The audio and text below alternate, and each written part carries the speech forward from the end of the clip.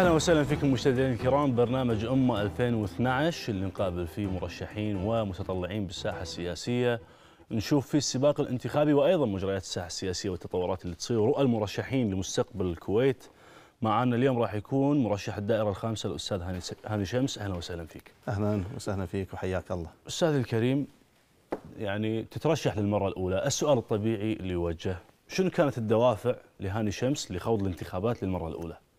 بسم الله الرحمن الرحيم. بالبداية نمسي على أخواننا المشاهدين في هذه الليلة ونطلع عليهم من هذه القناة القناة المميزة وحقيقة مع إعلامي متميز مثلك أستاذ محمد. الله يسلمك. وبالنسبة حق سؤالك يعني هذا سؤال طبيعي وسؤال مهم لإنسان أول مرة يخوض الانتخابات البرلمانية نعم.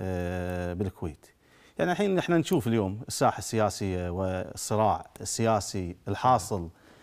وبالخصوص إذا نقدر نعده من 2006 وهذا الصراع السياسي والتأزيم السياسي عندنا بالكويت آه، ولد أزمات عندنا نعم. خلال الفترة السابقة. هناك كثير نعم. من التشريعات وقفت. هناك كثير من التعسف في استخدام الأدوات الدستورية آه، استخدمت.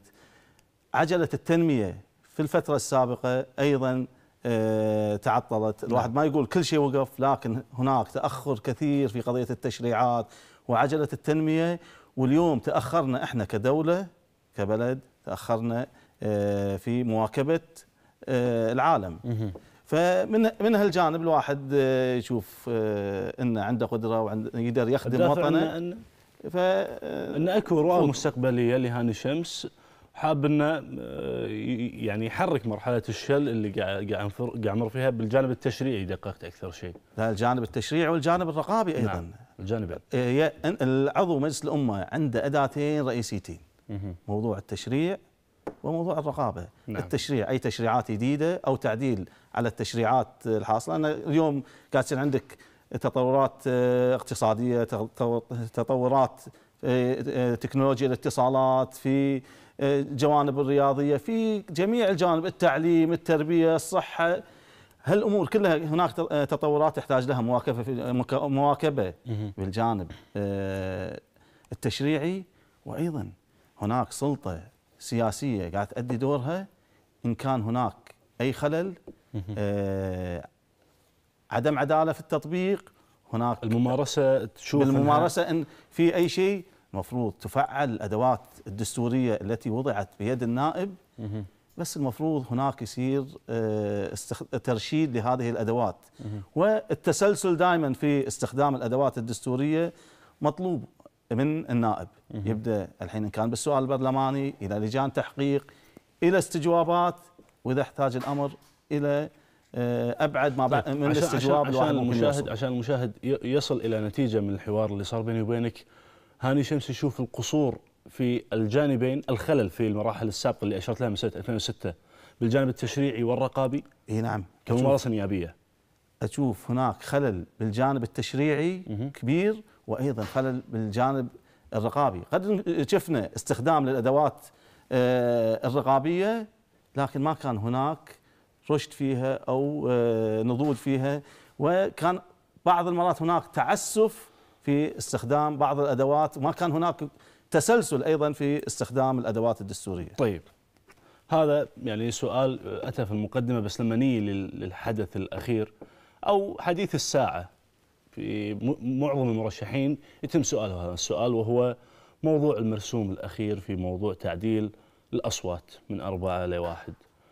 ما بسالك مؤيد ولا معارض بقول كيف قرأت هذا التعديل؟ يعني ما أدري حقيقة الواحد يستغرب انك هل هذا التأزيم اللي صاير اليوم عندنا بسبب هذا المرسوم؟ هذا الحق اللي ما في ما في اثنين يختلفون عليه إن من حق الأمير إنه يمارسه؟ وقد يكون هذه مو أول مرة أيضا يستخدم هذا الحق. في مجلس 81 استخدم هذا الحق وبأكثر من تقليص الأصوات بتغيير الدوائر والتصويت النظام الانتخابي كله تغير. شنو تغير بين 81 و2012 نسمع أن الظروف تغيرت الأجواء تغيرت. إحنا ما نتكلم عن أجواء. إحنا أمام ممارسات دستورية قانونية. ما لنا شغل في الجوانب السياسية. إحنا اليوم نحتكم إلى دستور. إذا اختلفنا في أي شيء لازم يكون هناك مرجع. مرجعنا الدستور. هل هذا يوافق الدستور أو ما يوافق؟ إذا نرجع حق المادة 71 نعم. مادة 71 مادة واضحة يحق للأمير في عدم وجود المجلس في وقت العطلة أو في حل المجلس إن يصدر مراسيم بقوانين وتكون هذه نافذة وتكون ضرورية الحين واللي. يحدد ضرورتها من عدم الضرورة في وقت إصدارها الأمير الأمير لوحده هو اللي يحدد. أنا قد أشوف إن هذا المرسوم مو ضروري. من حقك تشوف إنه مو ضروري. بس لازم أيضا تتعامل معاه في الأطر الدستورية والقانونية. إما تروح عن طريق المحكمة الدستورية آه، تاخذ آه، هالطريق. أو إنك تشارك بالانتخابات وتدخل وتوصل مجلس الأمة. هني في مجلس الأمة تتعامل مع هذا المرسوم. يمكن اليوم في تضليل. حق الجانب آه، في آه، النواحي الإعلامية والجوانب الإعلامية إن يعني إما تقبله أو ترفضه وما يصير الواحد يرفض هذا المرسوم. هو. هو عن طريق هذا المرسوم شلون آه، يفقد عضويته ويرجع حق مرة ثانية حق الانتخابات على نظام الأربع أصوات. لا هناك أيضا في رأي ثالث ورأي دستوري وبالماده واضح في ذيل آه، المادة 71 على أساس إن الواحد يكون آه، واضح في المادة 71 شنو المادة تقول؟ في آخر فإذا لم تعرض زال بأثر رجعي ما كان لها من قوة القانون بغير حاجة إلى إصدار قرار بذلك أما إذا عرضت. ولم يقرها المجلس زال بأثر رجعي ما كان لها من قوة القانون إلا إذا رأى المجلس اعتماد نفاذها في الفترة السابقة يعني ممكن المجلس القادم يعتمد الانتخابات الانتخابات الماضية. السابقة. يعني هذا التضليل اللي قاعد يصير إن شلون المجلس الجاي يبي يلغي نفسه. لا. ممكن يعتمد وفي الفترة السابقة أو تسوية ما ترتب من آثار بوجه آه، آخر. فالمادة واضحة. إحنا دائما في أي شيء ما دام نختلف لازم آه، نرجع آه، حق الدستور مواد الدستور. وإحنا اليوم يعني نمارس حقنا الدستوري وحقنا القانوني إن كان آه، في خوض الانتخابات أيضا وفي المشاركة لأن نعتبره هذا مجلس دستوري قانوني قائم.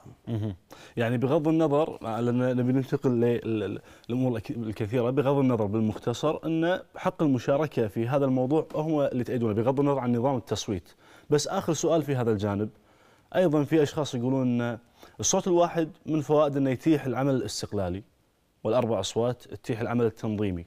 فالعمل التنظيمي كتكتلات كتيارات قتلت في الصوت الواحد. يعني هذه من السلبيات اللي تطلق. أنت شنو تعليقك عليها؟ لا بالعكس. المفروض مهم. مشاركة جميع أطياف المجتمع. قد يكون هناك مميزات لكل نظام انتخابي هناك مميزات وعيوب. نعم. أيضا من عيوب الأربع أصوات مهم. آه، موضوع آه، بعض الأقليات اللي ما يملكون مجموعة أصوات كبيرة ما يقدرون ينافسون ما يقدرون يوصلون مجلس الأمة وأيضا رأيهم ومشاركتهم تكون ناقصة. راح عندنا إحنا ليش نشوف اليوم عندنا بالتصويت يعني يشاركون 60% 60% قاعد يشاركون من الكويتيين اللي يحق لهم التصويت. تقريبا كان عندنا بالانتخابات الماضية تقريبا 400 ألف اللي شاركوا 238 ألف. هناك 40% قد تكون أسباب عديدة لعدم مشاركتهم. وقد تكون إحدى الأسباب أن ما عندهم بالدقة أمل بال- بالمنافسة نعم. والوصول إلى المجلس. داخل المجلس هناك آليات إن كنت واصل عن طريق أربع أصوات أو عن طريق صوت داخل المجلس ممكن هناك يصير تنسيق.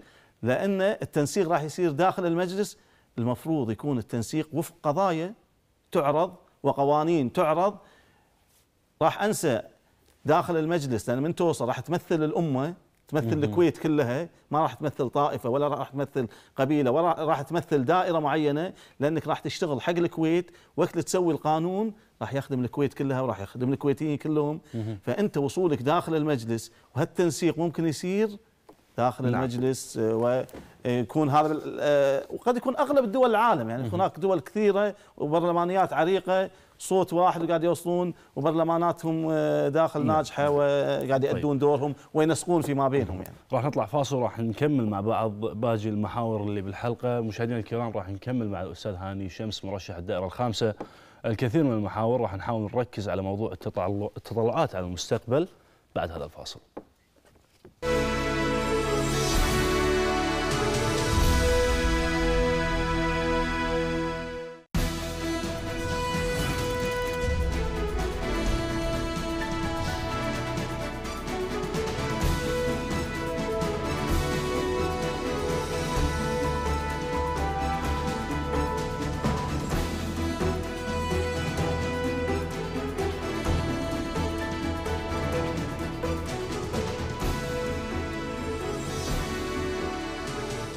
رجعنا معكم مشاهدينا الكرام في هذا الحديث المطول عن الأوضاع السياسية ورؤى المرشح هاني شمس لمستقبل الوطن. كل مرة قبل لا أطلع الفاصل أقول حق المشاهدين شنو راح نتكلم عنه بعد الفاصل بس بعدين أكتشف إنه في جانب معين ما غطيناه. أه، نبي نتكلم بالتركيز على موضوع المقاطعة، هو حق مشروع، البعض اتخذ هذا الموقف موضوع المقاطعة لرفضه أو هذا، أنت كيف قرأت قرار المقاطعة؟ يعني هذا قرار آه، خاص في كل مجموعة يشوف آه، عنده المبرر وأنا أح- مش آه، نحترم قرارهم في المقاطعة. وأيضا يجب احترام القرار الآخر ما دام يصب في صلب الدستور وصلب القانون. أيضا المفروض يحترمون القرار لأن المجلس القادم عليه حمل كبير الانتقال إلى الكويت بالكويت إلى آه، التنمية الحقيقية خلال الفترة الجاية لأن كنا في عنق الزجاجة واليوم إن شاء الله نكون نتعدى في هالمجلس نتعدى عنق الزجاجة ونطلع إلى العمل والتشريعات والرقابة. يعني تشوف إن ترك الساحة هو قرار سلبي في وجهة نظرك؟ يعني كل واحد هو يقيم قراره وهو هم اللي اتخذوا القرار في المقاطعة إحنا نشوف قضية المشاركة هي المفروض اللي تكون إن الواحد يمارس حقه لأن هذا الدستور وفق آه، وضع بالتوافق فيما بين الحاكم والمحكوم وهو الدستور اللي يحكمنا آخر شيء. طيب. آه، يعني عندما نعود إلى هاني شمس ونطلع على السيرة الذاتية نشوف أن الممارسة السياسية تعود آه، لفترات سابقة. وعلى حسب المعلومات اللي وصلتني إلى الجامعة أن أيضا كان لك دور نقابي بالحركة الطلابية وأيضا تحرك سياسي. وضح لنا هذه الحقبة؟ يعني حقيقة تتذكرنا الفترة السابقة قد يكون يمكن حتى إذا نبي نفتح في هالجانب قد يكون أيضا عندي قبل الجامعة بالمناسبه نذكرها. كان عندنا بالأندية الرياضية كنا نشارك بالأندية الرياضية والعمل الشبابي شباب. الجانب الاجتماعي فيما بين الشباب. يعني هذا الحراك كان موجود آه، عندنا أول وكنا نلعب. وأيضا كانت عندنا مشاركات في الجوانب الكشفية. تدري الجانب الكشفي والعمل الكشفي يصقل آه، الشخصية وينمي ال- المواهب. ولله الحمد في ما قبل الجامعة أيضا دخلنا في هالجانب والعمل الكشفي بالكويت.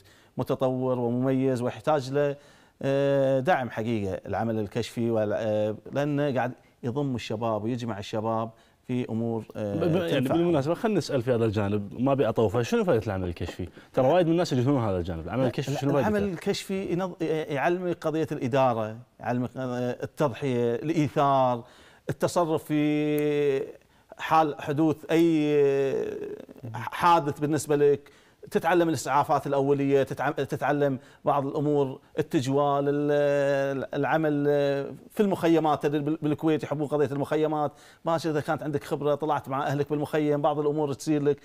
سرعة التصرف تكون موجودة عندك. ففي هالجانب دائما تفيد تفيدك على المستوى الشخصي وأيضا تقدر تعكسها على, على المجتمع. آه والعمل الكشفي مميز يعني حقيقة يحتاج لحلقات وعندنا أيضا في الهيئة العامة للشباب والرياضة إدارة قضية الشباب والعمل الكشفي ومميزين وهناك آه، منافسات فيما بين كشافات وجوالات الكويت يعني. ما ما بعد مرحلة ال- ال- ال- الجامعة وأيضا العمل الكشفي. نشوف إنه في سن صغير. دخلنا إحنا بس هذا السؤال على أساس بس أستكمله موضوع الجامعة تفضل نقطة، لأن تفضل لأن كنا بالجامعة دخلنا في عمر الجامعة الواحد عمره يدخل صغير وترشحنا أيضا في الانتخابات وكان الجامعة على حسب الكل يعرف يعني الجامعة مجتمع صغير عن الكويت كلها. هناك التيارات السياسية موجودة هناك العمل آه، الانتخابي موجود التنسيق فيما بين آه، تيارات التنسيق فيما بين الطلبة بين القوائم. كنا ندخل أيضا كان هناك تعاون مع الاتحاد بالدخول إلى اللجان والتعاون. وأتذكر في ذيك الفترة كان هناك نضج نضج سياسي في عند عند الشباب في المرحلة الجامعية والتنافس في ظل الخلاف فيما بينهم. لكن تشوف في عمل مشترك وفي المفاصل تشوفهم مع بعض يشتغلون. وما في طرف تشوف هذا الشيء مفقود طرف, طرف يلغي آخر. إحنا اليوم بعض ما قاعد أشوف في مجلس الأمة طرف يلغي آخر. في العمل أيام الجامعة قد يكون هناك كان في البعض عنده نضج سابق آه، زمنه ما كان يلغي كان يتعاون ويتعامل في ظل هذه أصلا الخلافات الموجودة يعني. يعني الحين فاقد هذا الشيء في الشباب ولا أيضا في آه، اللي يتسيدون القرار في مجلس الأمة؟ لا أنا أتصور إن شاء الله الشباب عندهم روح التعاون فيما بينهم. لكن آه، الحراك السياسي والصراع السياسي اللي قاعد يصير عندنا في داخل مجلس الأمة آه، شابة شيء من هالجانب يعني. أيضا أنت رأست جمعية تعاونية في عمر يعني كنت مو صغير يعني صغير بالعمر وليس قدرا. وترشحت لرئاسة جمعية تعاونية. المجال التعاوني شنو استفدت منه؟ يعني يعني الحمد لله. شوف بالكويت عندنا أكثر من قطاع. إحدى القطاعات اللي كانت مهمة وفيها احتكاك مباشر مع الناس. الجمعيات التعاونية عندها احتكاك مباشر مع الناس وهناك دور كبير الجمعيات التعاونية قد يجهلها الكثير. آه، دور الجمعيات التعاونية. يمكن الناس يتعاملون مع السوق المركزي مع الأفرع بضاعة إنه يشتري بضاعة. يعني أنا بس أنا بصراحة أستغرب هالموضوع. ما يقتصر على شخص كثير من المرشحين وأعضاء مجلس الامه السابقين عندهم هذه المحطة اللي هي عضوية مجلس اداره الجمعية التعاونية أو رئاسة الجمعيه التعاونيه. شنو الرابط فيها؟ شنو مو الفائدة المباشرة ولكن شنو الفائدة من ناحية الخبرة نبي نقول؟ يعني هذه تظل خبرات متراكمة تتراكم عند الإنسان. أنت وقت تدخل القطاع التعاوني راح تكون قريب من الناس متواصل معاهم لأن العمل التعاوني اللي يميزه إنه أكثر من جانب فيه في الجانب آه، التسويقي في جانب إداري داخل الجمعية أنت تدير. تبدأ تمارس جانب الإدارة. بعد ما تكون عندك 500 موظف أو أكثر أنت مسؤول عنهم وتضع خطط تراقب تمام. آه، تتابع الخطط اللي سويتها. عندك هناك أيضا جانب تسويقي. في جانب الجمعيات التعاونية جانب اجتماعي كبير. أصلا من الميزانية؟ 25% من الميزانية تروح حق الجانب الاجتماعي للخدمات. هني أيضا تلمسنا مدى الخلل في بعض الوزارات في آه، تجهيز مثلا المدارس. هناك كثير من الشغلات اللي تنقصهم المدارس لمتابعة العملية التربوية والتعليمية. نضطر آه، بالجمعيات التعاونية إن نوفرها لهم. بالمستوصف أنا ذكر بالمستوصف اللي كنا بالمنطقة اللي فيها أشعة أسنان ما كان فيها. الوزارة كان أشعة أسنان ما كانت موفرة حق المستوصف. دكتور الأسنان يشوفك تروح مستوصف ثاني تاخذ الأشعة وتضطر ترجع حق الدكتور يمكن يكون خالص الدوام الزحمة غيره أنت تكون تعبان آه، راح تطوف عليك. فالجمعيات قاعد توفرها. واحد قام يتلمس مدى حاجة الناس آه، في آه، هالاحتكاك مع الناس. أيضا حاولنا دام أتذكر دخلت أنا في عمر صغير قد يكون من, من أول ما دخلت المجلس الإدارة لين طلعت خمس سنوات رئيس مجلس الإدارة كنت أصغرهم سنا ولكن حقيقة الواحد أيضا يمسيهم بالخير. أعضاء مجلس الإدارة كانوا متعاونين وكان هناك العمل الجماعي والخلية. بالعمل كنا وأيضا كان هناك نظرة مستقبلية وما كنا نشوف بس شنو إحنا نقدر نسوي. شنو في شيء عالمي متطور أيضا نقدر نستفيد منه. مثلا هنا بالجانب الإداري قد يكون مو الكل يفهم بالجانب الإداري للممارسة لأن هناك جانب إداري كبير. هنا دخلنا إلى شهادة الجودة الآيزو. وقد أول جمعية. أخذنا أول جمعية أخذنا شهادة الآيزو على المستوى العالم العربي كجمعية تعاونية. وبعدنا جمعيات تعاونية أخرى أيضا دخلت في هالجانب على أساس طيب. ان تأخذ. أنا بس أحب أبين قضية دور الجمعيات. مثلا دور أساس ننتقل إذا كان في شيء ثاني اللي هو في أشياء. الدور مثلا مثل أنا بعطي ترى أمثلة كثيرة في العمل التعاوني لكن أبي أذكر مثل عايشناه على الأقل أنا الجانب الشخصي عايشته في فترة بداية ال 2000 2002 2003 و2004 في فترة الحرب. كان هناك حرب على صدام. الكويت كانت آه، هناك استنفار خطر على المواطنين. يحتاج إنك تجهز من ملاجئ نعم. من آه، مواد غذائية آه، إسعافات أولية طوارئ طبية. فكنا داخل منطقة أنا مثلت المنطقة وكنت عضو في لجنة الدفاع المدني في المحافظة وكنا نمارس دورنا والتجهيز للمواطنين. وكنا قد تكون في فترة صافرات الإنذار كانت تصدر وإحنا متواجدين في مكان العمل وكنا نحاول نخدم الناس. يعني هذا شيء من الأشياء اللي مرت علينا في الجمعيات طيب. التعاونية. طيب. يعني إحنا تكلمنا عن كثير من الأمور الخنقه أقول فصل بس السؤال الاخير لأن إحنا عرجنا على الماضي الجميل بالنسبة لك الأمور اللي اكتسبت منها خبرة ولكن أنا بالنسبة لي هذا السؤال أهم. كنت مدير مكتب لأحد النواب في مجلس الأمة. شنو الفائده من هذا العمل اللي مارسته؟ وإذا كنت حاب تقول من هو النائب؟ أكيد ليش؟ يعني يتشرف إنه يعمل مع نائب مخضرم. مثل نائب عدنان سيد عبد الصمد نعم. وتشرفت في العمل معه في مجلس الأمة خلال أربع سنوات من 2007 إلى 2011 ومسكت إدارة آه، مكتبة. وهذا خلاني خصوصا في هالفترة من ساعه كنا نتكلم من 2006 لليوم خلاني في قلب الحدث. كنت أشوف كل شيء قدامي. الممارسات الدستور الممارسات السياسية اللي كانت تصير الاستجوابات غيره. الصراع السياسي اللي كان يصير داخل مجلس الأمة في هالفترة أنا كنت حاضره عن قرب. ما كنت أشاهده بالتلفزيون أو اتابع عن طريق الجرايد. أنا يومي موجود داخل مجلس الأمة كنت أدي دوري بالأعداد إلى الجلسات أعداد إلى اللجان ربط فيما بين اللجان فيما بين التيارات فيما بين النواب. كنت أمارس هالدور وهذا أعطاني آه، نظرة وأعطاني تواصل وأعطاني مدى حاجة المواطنين آه، وتحسس حاجة المواطنين والمظلوميات. حقيقة مظلوميات كثيرة الناس قاعدة تتعرض لها. آه، بالكويت في عدم تطبيق القانون وهناك في تفرقة وعدم عدالة وهناك مساواة.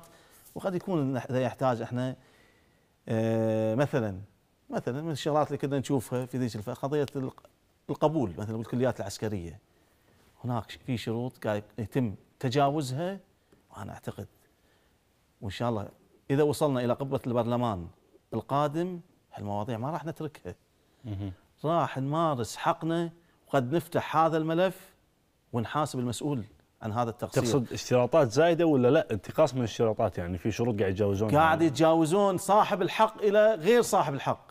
ما حد يعارض إذا صاحب الحق ياخذ حقه ما حد يعترض بس بس بس بس بالعسكرية هالشيء إيه. بس؟ بلا لا في كل مكان. أنا ذكرت هذا كمثل. أه. ممكن الواحد يفتح هالملفات في الفترة القادمة لأن مشكلة الصراع السياسي بالكويت. قلت لك عطل وايد من الأمور. أحدها قد يكون هذه من الأمور اللي تعطلت. لكن في المجلس القادم ما أتصور هناك عذر للسلطة التنفيذية آه، إنها تمارس الظلم. أو التعسف في في حق المواطنين. وقد نفتح هذه الملفات واللي يحتاج نحاسبه راح طيب. نحاسبه في ذلك طيب راح نكمل بعد الفاصل. مشاهدينا الكرام تحديات المستقبل بعد الفاصل.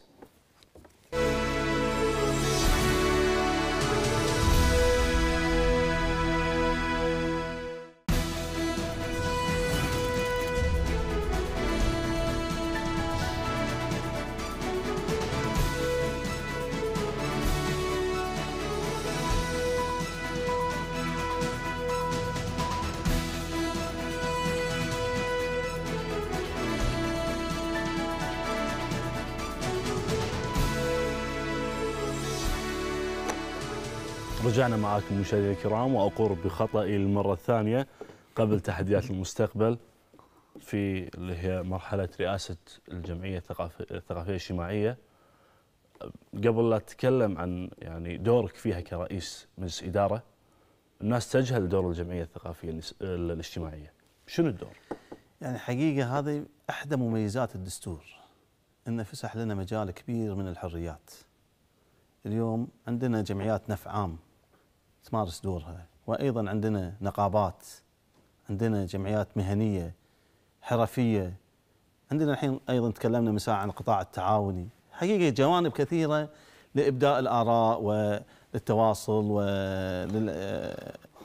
وللانتقاد ولتطوير العمل السياسي آه، بالكويت والمواكبه في هالجوانب. جمعية الثقافة الاجتماعية إحدى جمعيات النفع العام الموجودة بالكويت. نعم. ومثل ما اليوم إحنا قاعد نحتفل بمناسبه مرور 50 عام أيضا على الدستور اليوبيل الذهبي أيضا السنة القادمة اللي هو 2013 إحنا في جمعية الثقافة أيضا راح نحتفل باليوبيل الذهبي لجمعية الثقافة الاجتماعية وهي تعني من اسمها تعني بجانب الثقافي والجانب الاجتماعي والجانب آه، الرياضي آه، بالنسبة حق آه، يعني بالمجتمع. جمعية وجمعية تابعة أيضا لوزارة الشؤون الاجتماعية والعمل يعني. يعني جمعية الثقافة الاجتماعية. يعني عطنا دورك خلاص عطنا دورك على نعرف هي شنو شنو التطبيق اللي المباشر للناس في جمعية الثقافة يعني الاجتماعية. أنا أحاول أذكر بعض الأمثلة. م. أنا العام من, من العام الماضي رئيس مجلس الإدارة آه، في جمعية الثقافة ونتعامل مع إخواني في مجلس الإدارة. وأيضا نستغل هذه الفرصة ونوسيهم بالخير. إخوان حقيقة ما يقصرون وعملهم وعملهم دائم. وكنا نحاول أتكلم عن بعض الأمور العامة اللي كنا نسويها. نحاول أن ننم فيها المجتمع. يعني إحنا شفنا مثلا فتنة قضية الفيلم للإساءة للرسول نعم. صلى الله عليه وسلم اللي صار. إحنا حاولنا نلم المجتمع عندنا في في الجمعية وعملنا أيضا مهرجان آه تحت عنوان نورك لن يطفأ.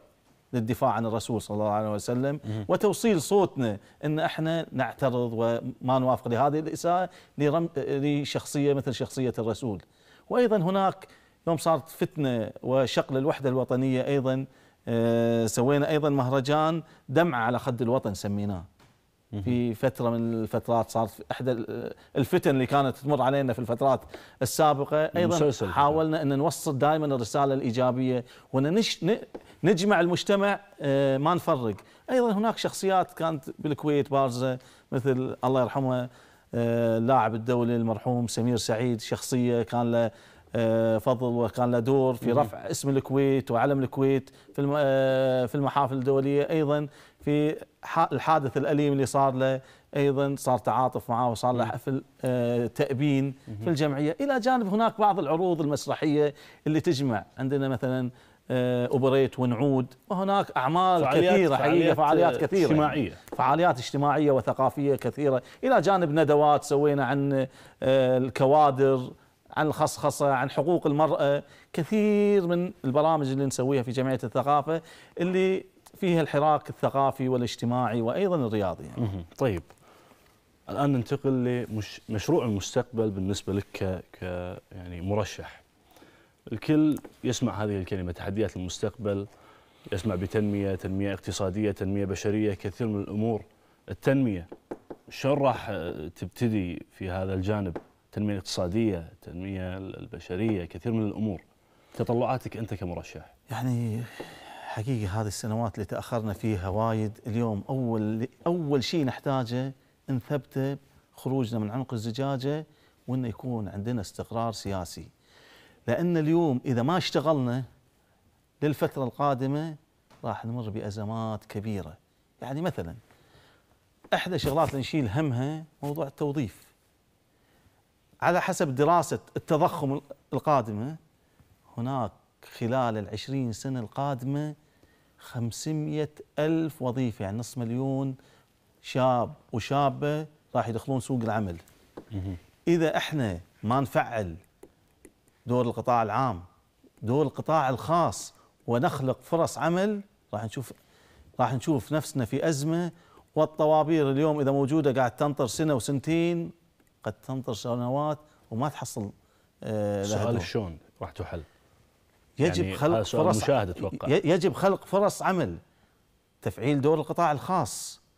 إحنا مشكلة عندنا خلل حتى بالتركيبة السكانية.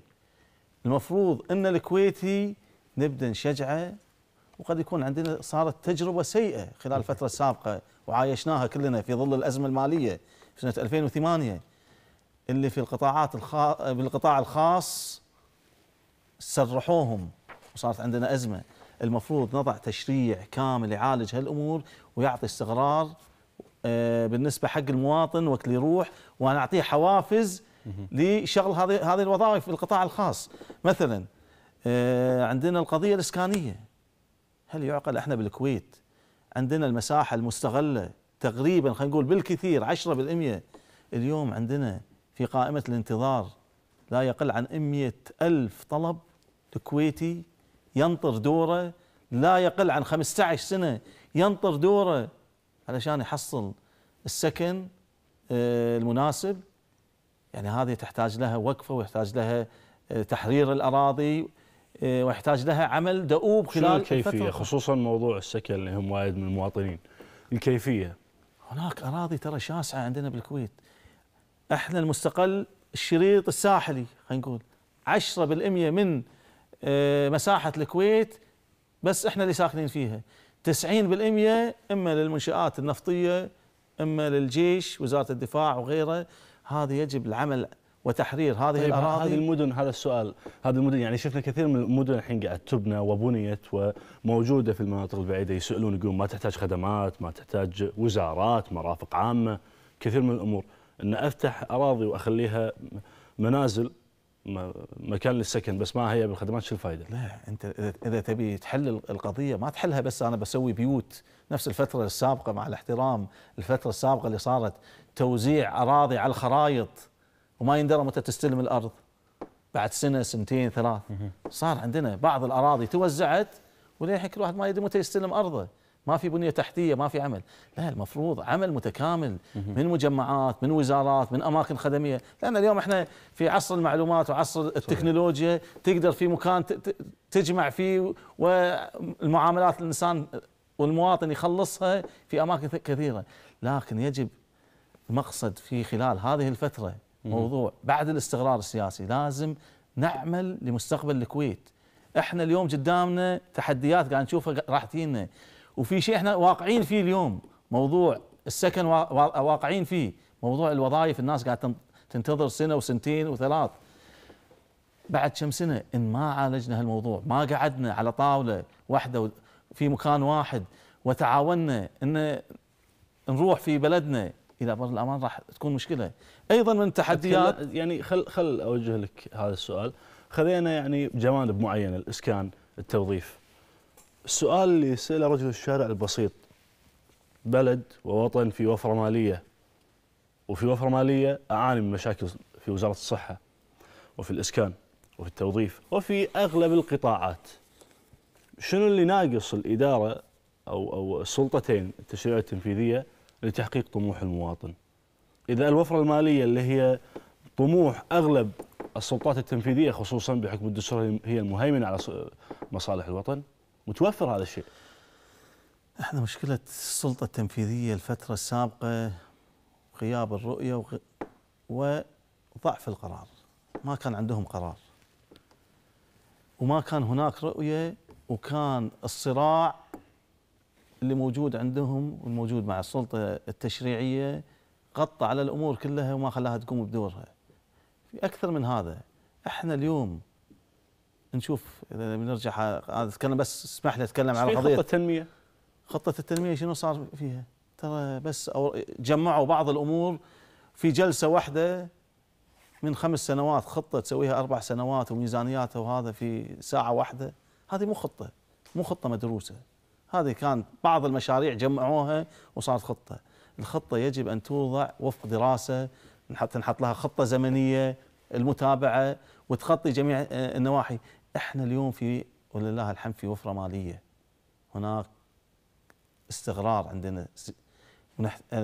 إن شاء الله خلال الفترة الجاية يكون هناك استقرار المفروض نعالج هالجوانب. نأمل إن السلطة التنفيذية في الفترة القادمة تكون صاحبة قرار تكون مبادرة. إحنا حقيقة نتأمل. وخطاب صاحب السمو وتعهده في هالجانب. وإحنا نثق في حكمة آه، في حكمة صاحب السمو وفي القرار وفي الخطوات. مفروض نعوض هذه السنوات اللي طافتنا ونعالج هذه الأمور. إن ما عالجناها قلت لك راح نتأخر وايد. فبالنسبة حق التطلعات أيضا هناك تطلعات كثيرة. يعني الواحد حقيقة إذا واحد بيقولها مثلا واحد إذا بيعالج التعليم. مشكلة التعليم عندنا متأخر. كوني أيضا أنا في سلك التعليم. سلك التدريس مع بين الطلبة في الإدارات المدرسية. أيضا واحد قاعد يشوف شنو مدى التأخر وقاعد نشوف اليوم الذهاب إلى آه، المدارس الخاصة. وقاعد يتركون وقاعد يشوفون الخلل الموجود في التعليم العام وهناك يحتاج لوقفة أيضا بالصحة اليوم الصحة المشكلة. أول تدور لك واسطة أساس تبي غرفة خصوصي. اليوم تدور لك واسطة تبي سرير بالعمومي. وينقلونك من مستشفى لمستشفى وقد تضطر بعض يحطونك يحطونك يحطونك يومين. لا هذه هذه المشاكل مو مشاكل أزلية ما يصير لازم مشاكل أزلية. عندنا مجلس المفروض يضع ويراقب وعندنا لازم سلطة تنفيذية تحط هالمشاريع وتمشي. إذا ما مشت لازم أعضاء مجلس الأمة يقومون بدورهم. وفي محاسبة السلطة التنفيذية في أي تقصير في هالجانب. لأن هذا متعلق بأرواح المواطنين وفي تطور البلد. ما يصير اليوم أنا صحة الإنسان والتعليم حق الإنسان متأخر وهناك قضايا كثيرة يحتاج متابعة. طيب خليني مثلا حق الجانب الشبابي إذا نبني جانب الرياضة.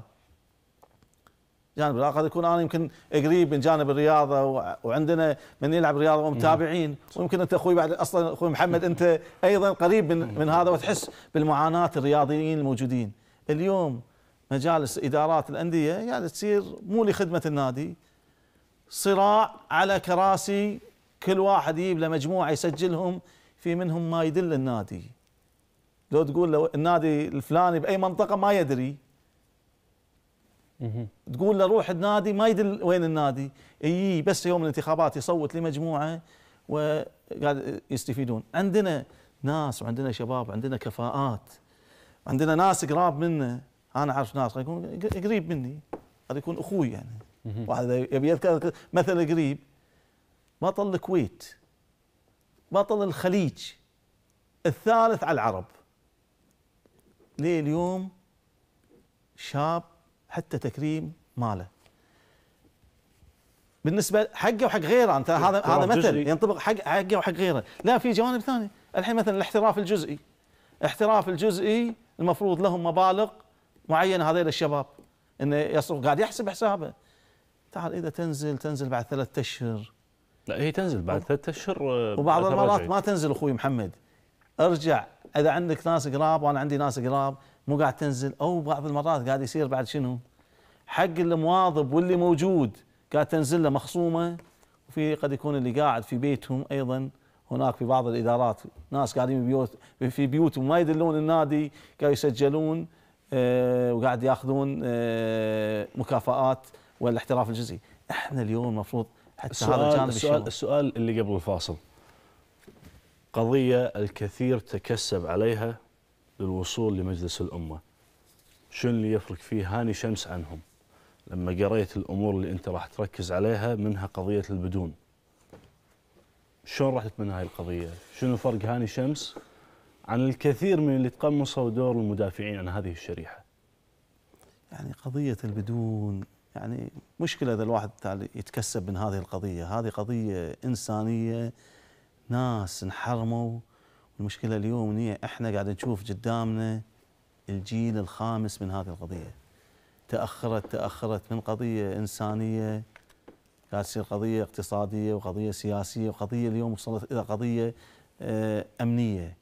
هناك كثير منهم قد يكون في تقصير في فترة من الفترات آه، وقد يكون هناك في منهم الكثير يستحق الجنسية أكثر من الموجودين الحين مستلمين الجنسية. كلهم يستحقون؟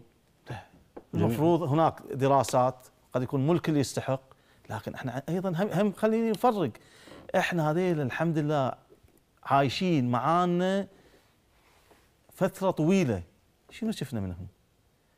على الحرمان اللي قاعد يصير عليهم لو في مكان ثاني لو ناس غير هذيلا مخلصين عشان نشوف القضايا إيش كثرها اللي تصدر منهم. لكن مع الحرمان مع الظلم اللي قاعد يصير عليهم وهناك مجموعة الحين مثلا جهاز آه، الدولة يقولون في 34 يستحق الجنسية 34 ألف. يستحق. ليش التأخير؟ إذا هذيلا يستحقون إحنا مو نبي نعطيهم حق. خلي يكون واضح. اللي أشوف أنا إن مو نبي نعطيهم حق الجنسية. إحنا ظلمناهم وظلمنا أجيالهم ظلمنا ابائهم اللي ما أخذوا الجنسية خلال السنوات السابقة ظلمناهم من حقوق كثيرة. إحنا اليوم مو نبي نعطيهم ونتمنن عليهم. إحنا ما ولا ابي أقول بعد خلينا ندخل في قضية تعويضهم. لكن إحنا ظلمناهم. المفروض الاستعجال في إعطائهم حقوقهم اللي يستحقونها واللي قد يكون بسبب آه الحكومة وعدم حسمها للموضوع هذا صار ظلم عليهم. المفروض نعوضهم. اللي ما يستحق خليه يعطى حقوق الحياة. خليه يعيش كبشر. وآخر شيء متعايشين معانا. عاداتنا وتقاليدنا هم أيضا شو تقصد حق الحياة والتعايش كبشر؟ خلي يعطونا شهادة ميلاد خلي يعطونا حق التعليم خلي يعطونا حق انه يروح الطبيب يعالج قاعد يدرس ويكلف ويكلف ويتكلف خل أستفيد منه ليش أجيب أجانب من برا أنا اليوم ابى أعالج قضية إسكانية بعالج قضية مرور. الأجانب قاعد قاعد يسبب لي قضية مرور وغيرة وغيرة وغيرة من القضايا. ويسبب لي في قضية المستوصفات والمستشفيات راح يترك علي عبء آنا هذا موجود موجود. طيب. الأجنبي قاعد يودي فلوسه برا. هذا الأجنبي هذا البدون يعيش وقاعد أوفر إذا نظر لها نظرة اقتصادية قاعد يوفر وقاعد يح يح قاعد يصرف المبالغ اللي ياخذها داخل الديرة مو قاعد يطلعها. للاقتصاد الوطني إذا اعطيه حقوق التوظيف والأمور الثانية راح يفيد البلد وأشيل هالظلم شوية طيب راح نستمر بالحديث بعد الفاصل. ما هو الاستقرار السياسي بمنظور المرشح الفاضل؟ بعد الفاصل.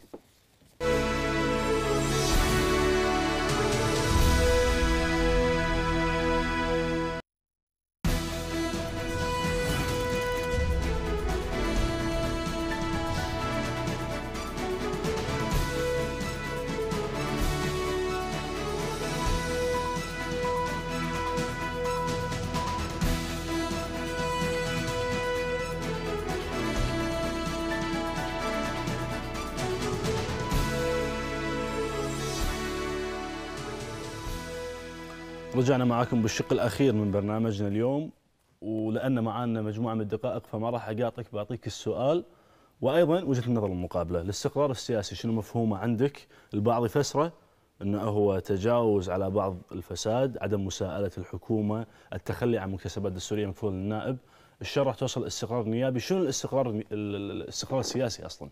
تفضل. تصور موضوع الاستقرار السياسي هو أهم شيء قضية الإنجاز مو معناته ما تستخدم الأدوات الدستورية مو معناته ما تحاسب الحكومة مو معناته ما تتابع الحكومة.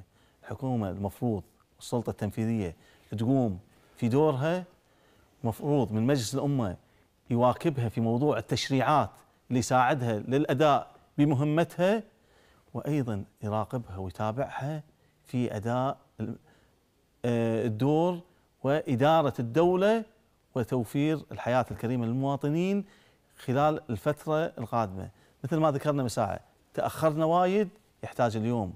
آه ان نشتغل حق الكويت نشتغل لمستقبل الكويت لمستقبل أجيالنا وعيالنا. ما التخلي عن دورك النيابي ما, ما يصير تتخلى أصل الاستقرار في حسن استخدام أدواتك الدستورية والقنوات. مو معناته الاستقرار إني ما أستجوب. مو معناته الاستقرار إني ما أسأل. مو معناته الاستقرار اني ما اطرح الثقة بالوزير. إذا الوزير مو قاعد يؤدي دوره. المفروض إني أحاسبه واوقفه على منصة الاستجواب وإذا احتاج الأمر أوصل حتى إلى طرح الثقة. إذا ما كان يؤدي دوره مو معناته الاستقرار إنك تتخلى عن أدواتك الدستورية. لكن ترشيد استخدامها ومثل ما قلنا من ساعه التسلسل وفي هالجوانب يعني. طيب. نعود لقرار خوضك الانتخابات تخوض الانتخابات مع التحالف الإسلامي الوطني وتحت شعار لأنهى الكويت ليش هذا الشعار؟ يعني إحنا حقيقة من فتحنا عيوننا على هالبلد قضية البلد تقدم لنا وتعطينا وبلدنا الحمد لله آه، فيها مساحة من الحرية ومساحة من أداء الدور وما ما قصرت آه، هذه الديرة آه، بالنسبة حق جميع المواطنين ومن يستظل في ظلها من وافدين ومن غيرها من غيرهم في آه، هذا البلد. إحنا اليوم آه، أمام تحديات وتحدي كبير موضوع مجلس الأمة القادم. المفروض منا لحبنا حق هذا البلد لحبنا لهذا الوطن لحبنا هذه الديرة لأنها هذه الديرة اللي قاعد تقدم لنا وقاعد تعطينا لأنها هي الكويت. لأنها الكويت لازم نمشي في عجلة التنمية. لأن هذه الديرة الطيبة لأنها الكويت لازم نسعى إلى استقرارنا السياسي. لأنها الكويت لازم نمارس دورنا. لازم نمارس دورنا في الترشيح اليوم مارسنا دورنا. وأيضا المواطنين هذا البلد لها حق عليكم. كل واحد المفروض في واحد 12 يمارس دوره في اختيار من يمثله والوصول إلى قبة عبد الله السالم لأداء الدور ورسم مستقبل البلد لأنها الكويت لازم نضحي لها لأنها الكويت لازم نقدم الغالي والنفيس من أجلها لأنها تستاهل طيب. لأنها الكويت. طيب كلمتك الأخيرة في هذا اللقاء. شاكرين لكم، شاكرين تواجدنا معاكم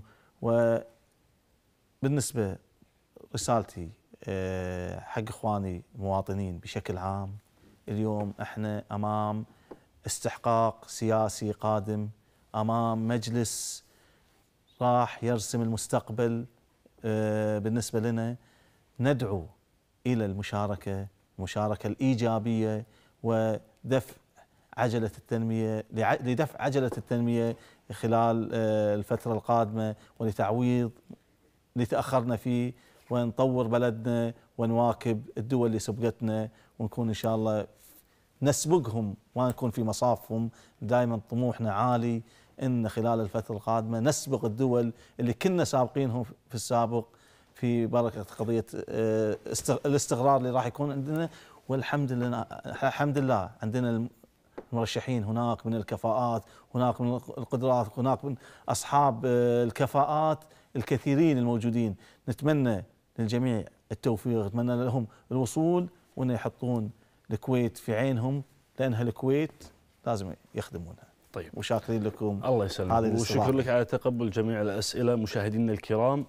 نشكركم على المتابعة نشكر الضيف الكريم على تقبل جميع الأسئلة. اليوم حبينا نسلط الضوء مع المرشح الفاضل هاني شمس مرشح الدائرة الخامسة على المستقبل الرؤى المستقبلية. ما نبي نتكلم عن ما يخالف نتكلم عن الوضع السياسي الحالي بس ما نتكلم عن الماضي والأمور السابقة. نبي نشوف كويت المستقبل نبي المرشحين لما يقعدون هنا قدام المشاهدين يعطونهم بصيص من الأمل ان ممكن الغد يكون أفضل من الأمس. شكرا لكم على المتابعه المتابعة. شكرا لفريق العمل. إلى اللقاء.